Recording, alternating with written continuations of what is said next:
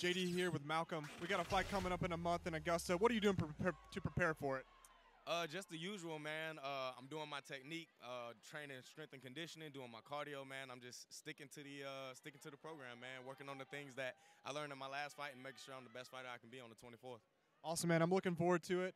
You know, leading up to it in your camp, where are you based out of? Uh, Augusta, Georgia. Fagler's MMA, man. Those are the same guys I started with back in 2017, and I'm still with them today. Awesome, man. A hometown show. Well, that's going to be exciting. Looking forward to it. It's going to be in Augusta on the 24th. Yes, sir. And uh, yeah, hope to see you guys out there. Thank you. Thank you so much, man. Appreciate Yes, it. sir. Hey, and if you're looking for tickets, go to conflictmma.com and you can get them there. And let's see our boy fight. Bring it home. Thank you.